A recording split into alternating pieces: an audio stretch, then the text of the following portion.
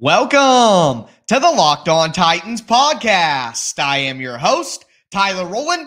Titans fans, the Tennessee Titans moved to 3 and 2 on the year with a 21 to 17 victory over the Washington Commanders. I'm breaking down everything you need to know from the game. First, my big takeaways on offense and defense. Derrick Henry saves the day, and David Long with the major interception. Then we'll continue breaking down the individual performances, both good and bad, and everybody's favorite segment, Tighten Up, Tighten Down. After five weeks, the Titans sit atop of the AFC South. I'll tell you how they got there on today's Victory Monday edition of the Locked On Titans podcast. Let's get it.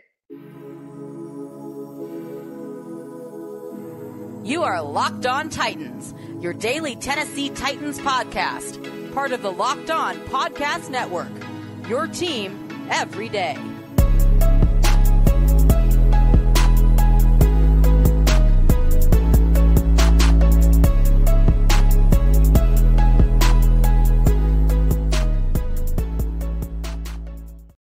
Titans fans, it is a Victory Monday edition of the Locked On Titans podcast. We're going to break down exactly what happened with the Titans on offense and defense to start. Before we get into my big takeaways from the game, I do want to let you know that today's Victory Monday is presented by Prize Picks. Prize Picks is daily fantasy made easy. Pick two to five players, and if they score more or less than their Prize Picks projection, you can win up to 10 times your money on your entry. First time users get a 100% instant deposit match up to $100 with promo code locked on. That's prizepicks.com, promo code locked on. Thank you guys for making the Locked On Titans podcast your first listen every day. Make sure you subscribe on whatever platform you do stream. I am bringing you Monday through Friday free Tennessee Titans content on all platforms all year round. It's your team every day here on the Locked On Titans podcast. So make sure you subscribe. But diving into my big takeaways on offense and defense from the Titans win over the Commanders. Number one, on the offensive side of the ball, how can you start anywhere else but with Derrick Henry? And it wasn't even, here's the thing about Henry's performance 28 carries, 102 yards, two rushing touchdowns. It was no guarantee that the Titans were going to get some of those short yardage situations. And Derrick Henry made it happen while he was getting contacted behind the line of scrimmage, while there weren't a lot of holes. I remember a third down in the second half where he was contacted four yards behind the line of scrimmage and he juked out a few guys and got up and got the first down on third and one. Absolutely insane. Some of those goal line carries where he was able to punch it in with not a lot of room. This wasn't one of those games where I get on here and tell you guys that the offensive line was good in run blocking because they weren't that great. The Titans only had, I believe, 3.3 yards per carry, 3.9 yards per carry at best, if my memory serves me correct. So, not a wonderful performance from the Titans overall as a rushing offense, but Derrick Henry just put them on their back, basically. And Derrick Henry just carried the offense when they had nothing else to give. Other than that deep shot to NWI, which not to toot my own horn here, guys, but if you watch the game plan show on Friday, I said Derrick Henry had to have a massive performance. And I said the Titans have to take some deep shots to NWI down the field. They simply have to just to make the defense respect it. And guess what? They hit one. And it was a huge play for the Titans in the game. So, other than that deep shot to NWI, it was just Derrick Henry and not even just the running game. He had 30 yards in the receiving game, had a big screen for 24 yards, had another great contested catch, I believe, in the red zone for a six yard pickup. I mean, Derrick Henry did it all because the Titans offensively Nothing in the passing game. Robert Woods is dropping passes. The Titans give up five sacks in pass protection. I just simply don't know what the Titans are going to do when they play teams with good pass rushes who aren't also terrible. Like the Commanders are a terrible football team, but they have a pretty good upfront pass rush. When the Titans face a good pass rush and also a good team, I guess that's what Buffalo is, right? So, because the Raiders aren't that good of a team, they're mid but they have a good up front group. Uh, and the Titans were able to win barely. Same thing here. So I- am worried about the offensive line going forward. Dillon Radunz. Dillon Radunz got the start at right guard. I got to tell you, it looked ugly at the beginning, but I didn't really see any major, major issues from Radunz later in the game. That's something I'm going to be focusing on in my tape breakdown this week. So make sure you don't miss rewatch Wednesday. But overall, the big thing is despite the sacks, the penalties, the negative plays for the Titans, the mistakes, the drops, they have Derrick Henry and they continue to be amazing in the red zone. I believe they're up to 11 for 12 in the red zone now getting touchdowns. The Titans were three for three in the red zone in this game, despite only being four for 14 on third down. If the Titans got to the red zone, they score touchdowns this year. It's just getting to the red zone that is tough to do when you have all the penalties, negative plays, sacks, mistakes, all that. There's only so much Derrick Henry can do here. And I think we saw the limit of what Derrick Henry can do in this game for this team. I mean, he literally carried the offense for most of the game. Uh, on defense, it's so the Titans defense is just so Jekyll and Hyde, if not for those explosive plays in the pass game. The Titans were able to get, I believe, three sacks on Carson Wentz on the day. The Commanders were one for 11 on third down. The only third down completion they uh, conversion they had was right at the end of the game that set them up for their last four downs. That was the first third down conversion they had the whole game. Uh, they were 0 for 1 in the red zone. 2.5 yards per carry. I mean, the Titans completely shut them down, other than like four or five explosive plays, which the Titans cannot stop giving up every week. But at the end of the day, David Long and the Titans played a ton of man early. They had to switch to zone because they just don't have the dogs in the secondary right now with Amani Hooker not playing, with the disaster that is the cornerback group right now. Um, Andrew Adams, Josh Kalu at safety. I mean, the Titans had to go to zone because they just can't match up one on one in man coverage. But at the end of the day, they were able to limit explosives at the end, make the commanders take up a bunch of time, get them in a goal line stand, and David Long seals the game with the interception. Ooh, they make us sweat. But either way, the Titans are back above water. They're back above 500, sit at three and two with Jacksonville losing to the Texans, the Titans now lead the AFC South. I'm going to talk more about that at the end of the show, but now it's time to go into tighten up and tighten down. Talk about all the good and bad individual performances in this game. And I'm sure you won't be surprised where I start tighten up in just a moment. But before we get into that, I do want to tell you a little more about our title sponsor, Prize Picks. Prize Picks is daily fantasy made simple. So Prize Picks sets a projection for every player. Derrick Henry, rushing yards, 98.5. Ryan Tannehill, 2.5 sacks. Antonio Gibson, 2.5 catches. All you do is you pick two to five players, you look at their projection, and you say, is it going to be more or is it going to be less than what the projection is? If you get it right, you can get up to 10 times your money on your entry. Right now, go to prizepicks.com or download the app. Use the promo code locked on you're going to get a 100% deposit match up to $100. So if you use promo code locked on at prize picks, you're going to get a free $100 if you deposit $100. You're going to get a free $50 if you deposit $50. Either way, go to prizepicks.com right now or download the prize picks app. Put in promo code locked on for a 100% instant deposit match up to $100.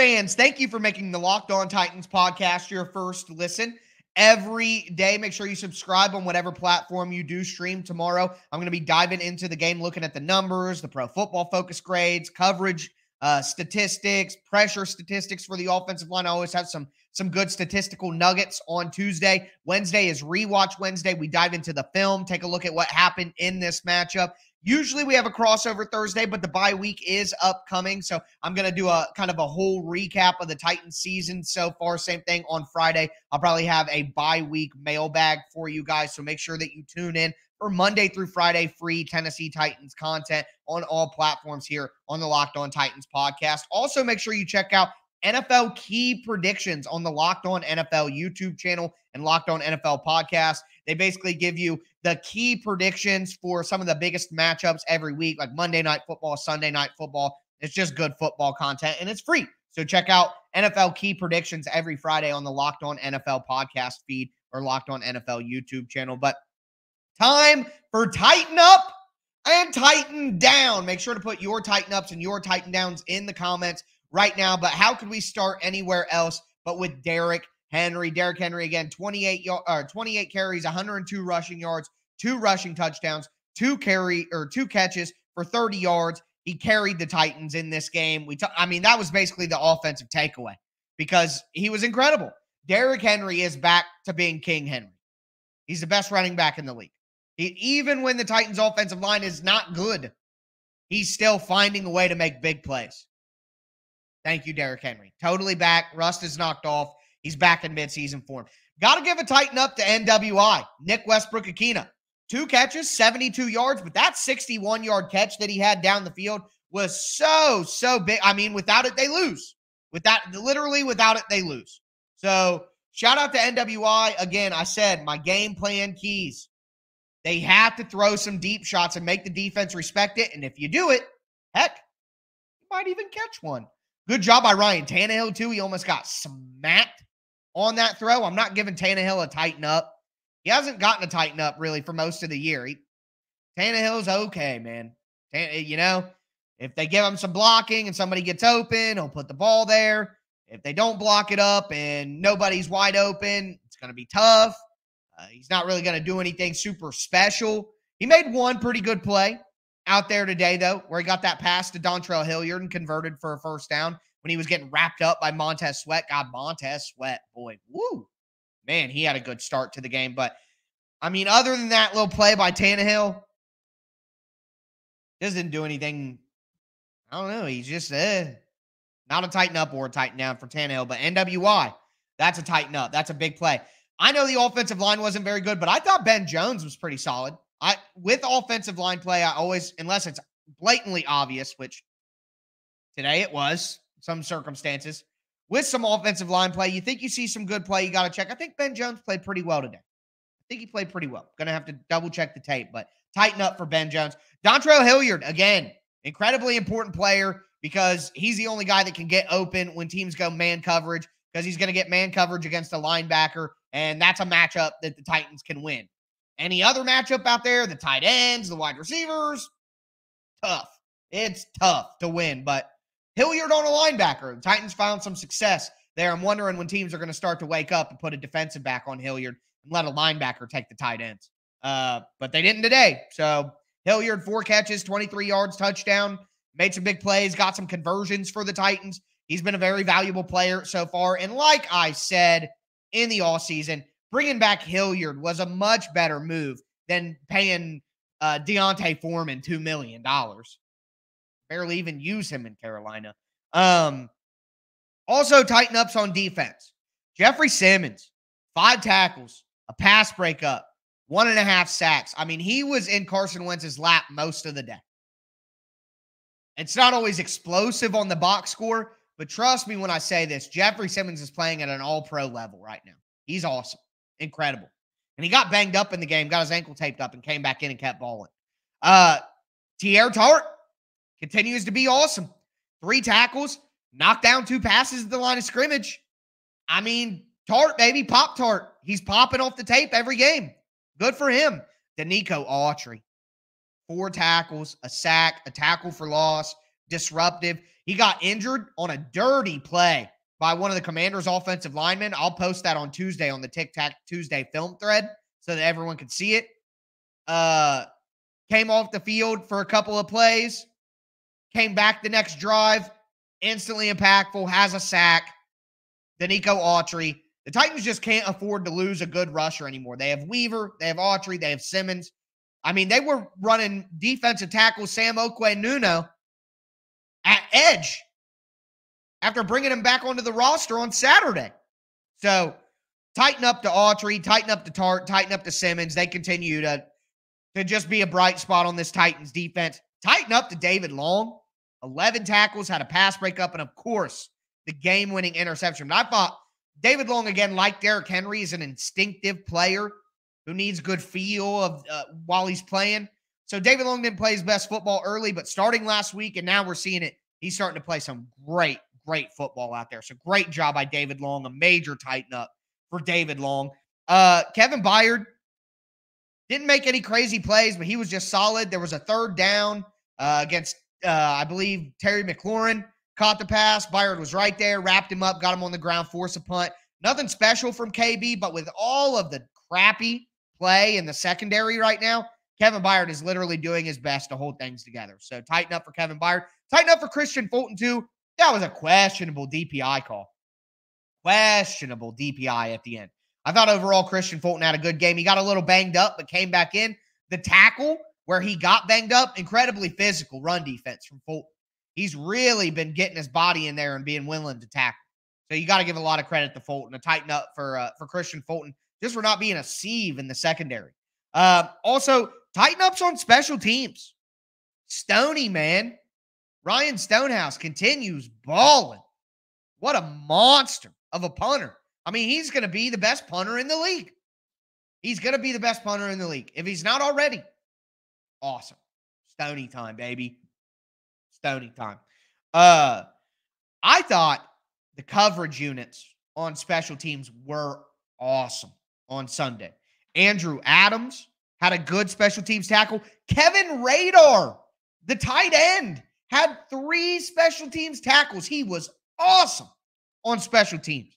Hassan Haskins had a nice special teams tackle. I thought Dylan Cole made some good plays on special teams. Great job by the Titans coverage units on special teams. Continuously making good tackles and not allowing big returns. Good day. A good day from the special teams group. Randy Bullock, I'm not going to give you a tighten up because all you did was make three extra points. But hey, tighten up to Morgan Cox, the Titans long snapper, who never seems to be a problem. Oh, please. Knock on wood. Knock on wood. But just a tighten up for the Titans special teams overall on the day. Now it's time to get into Titan down. Not a lot of Titan downs, but there definitely are some to go over. I also want to talk about the stretch coming up for the Titans, where they're at right now, and how the Titans, at the end of five weeks, despite starting 0 2, lead the AFC South. Craziness craziness. Before we get into it, though, do want to tell you guys about our friends over at Built Bar. Built Bar is the best tasting protein bar in the galaxy. All the bars are covered in 100% real chocolate, and they have some of the best flavors you're ever going to try. Some of their flavors, in my opinion, are even better than some candy bars I've had, like the cookie dough chunk puff. You get the crunchy chunks, you get the marshmallowy consistency and the light, chewy texture of the puffs, cookie dough flavor, real cookie dough chunks and it's only 160 calories. That's how all their bars are. They're low calorie, they're low sugar, they're high protein, they're high fiber. I mean, the cookie dough chunk puff has 15 grams of protein. It's not chalky and waxy and crumbly and hard to choke down like other protein bars. You guys got to check out everything that Built Bar has to offer. Go to right now. Use the promo code locked on 15. You're going to get 15% off your order. Once again, that's promo code locked on 15 for 15% off at built.com.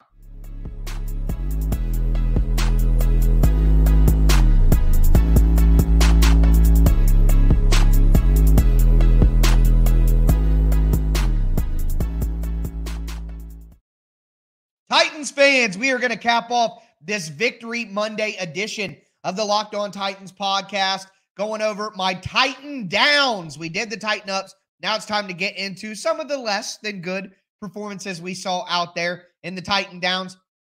Before we get into it, thank you guys again for making the Locked On Titans podcast your first listen every day, Monday through Friday, free and available on all platforms. Locked On Titans, your team every day. As for your second listen, check out the Peacock and Williamson NFL show. Brian Peacock, former NFL scout Matt Williamson, break down all the big national stories for you. And Matt Williamson had the Titans finishing third in the AFC South. So I always like to tune in on Mondays and see what Williamson had to say about the Titans winning again. It is a three game winning streak for the Titans. They sit at three and two now after starting 0 and 2. A great winning streak for the team. According to Kevin Byard, they had a players only meeting after the beat down in Buffalo, and it really kind of changed the way that they wanted to handle things. The Titans have a chance now going into the bye to come out healthier with a lot more. There, there are like five starters that they could have back after the bye. They play the Colts again. Sweeping the Colts would be huge, and they're at home. And then they play the Texans. If the Titans can start 3 and 0 in the division and win those two games and be at 5 and 2, I feel confident going into the tough stretch with the Chiefs and the Packers and the Eagles and the Bengals. I feel confident going into that stretch that if the Titans can win one or two games there, they're going to win the division. But we'll talk about that more as the week continues. It's time for Titan down. First, the pass blocking for the offensive line. I mean, truly despicable stuff. Dennis Daly just getting whooped. Uh, NPF getting bull rushed into the back. I thought Dillon Radunz didn't give up a ton of like sacks because other people got there first and stuff, but he got pushed around a little bit. NPF, while being good, I think he's probably been the best rookie offensive tackle. It's still not great all the time. Geoff Swaim got destroyed by Montez Sweat and pass blocking at one point in time. I mean, the Titans can barely have explosive plays in the passing game because they simply don't have time to uncork them especially against a good front like the Commanders have with Payne and Allen and Sweat. They didn't even have Chase Young. So just a terrible day by the Titans offensive line in general. Derrick Henry was able to save them and make them look okay in run blocking, but just not good from this unit. Uh, also, the tight ends, not giving you a lot in blocking. And the tight ends total had two catches for 12 yards. Now, I think they got to get Chig more involved, in my opinion. Uh, and I'm not going to give him a Titan down, but on that catch in the end zone, Chig Okonkwo stuck, he caught the ball with two hands, and as he's going to the ground, rather than securing the ball and just taking the contact to the ground, having your knee down in the end zone and it being a touchdown, he tried to put his hand out to brace himself as he went to the ground. Not only did that make his hand go out of bounds and make it too hard to challenge? Even if I think the knee was down first, it was bang, bang. And I don't blame my Vra- Vrabel for not challenging it. But he did that and didn't even secure the catch. You're bracing yourself for impact on the ground so that you can hold on. Just do what every good receiver and tight end does in the league catch the ball with two hands and roll and secure it and just take the impact. You're going to hit the ground hard, but it's a touchdown. I had somebody reply to me on Twitter and say, Oh, I'd like to see you get out there and make that catch. I'm five foot five. I do a podcast. Why, why would you expect me to make that catch? Chig Okonkwo is an NFL player. It's always the dumbest reply I ever get is, oh, you couldn't. Well, duh. Are you going to compare all the Titans to my level of skill at football? Is that is that the level that we're judging our NFL players on right now? Oh, you couldn't do it. Well, duh, idiot. Give me a break. You couldn't do it either. Neither of us are in the NFL for a reason. You know? You got to compare NFL players to NFL players, not five foot five podcast hosts. Quit being obtuse, ridiculous. Uh, anyways, I'm just saying, like I criticized Michael Pittman last week, Michael Pittman should have had two touchdowns the out route in the flat in the end zone against McCreary, and then the seven route to the pylon against Byard. He should have had both of them, but he didn't have good enough body control to get his toes in bounds.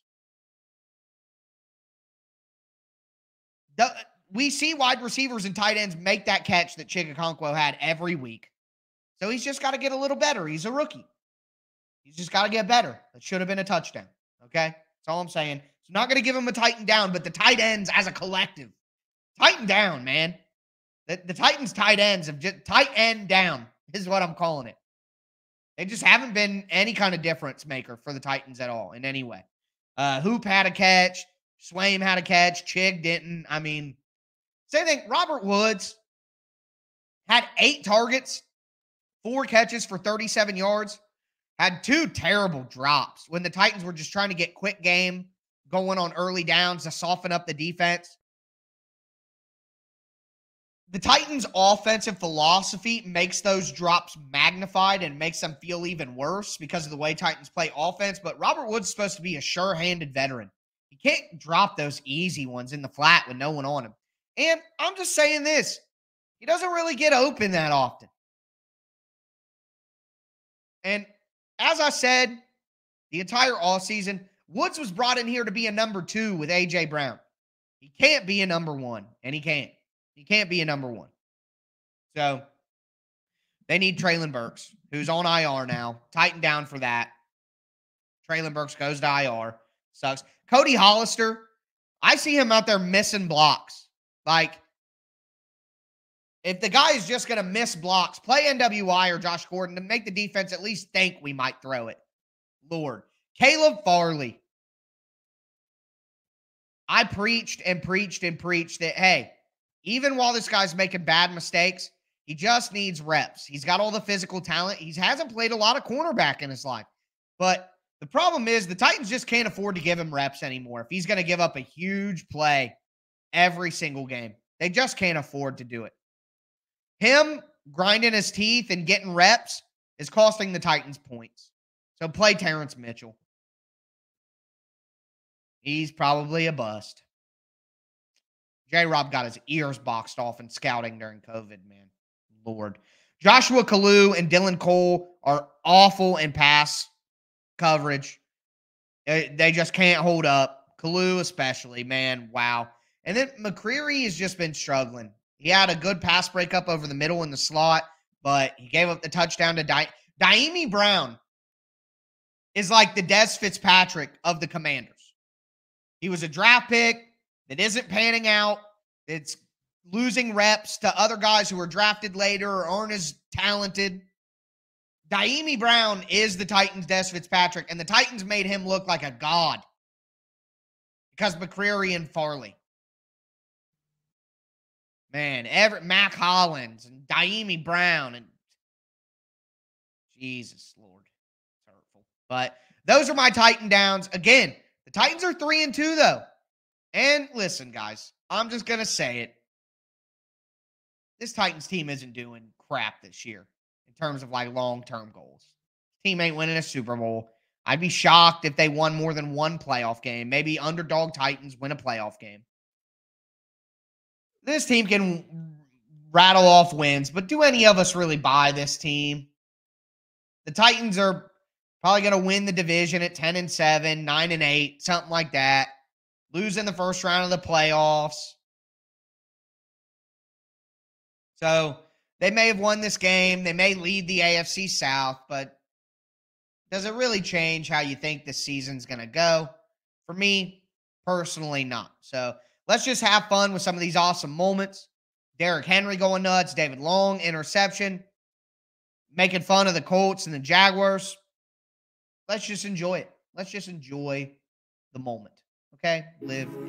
But that's going to do it for me today, folks. I will be back with you guys tomorrow to continue breaking down this win. As always, I am your host, Tyler Rowland, and this was Locked On Titans.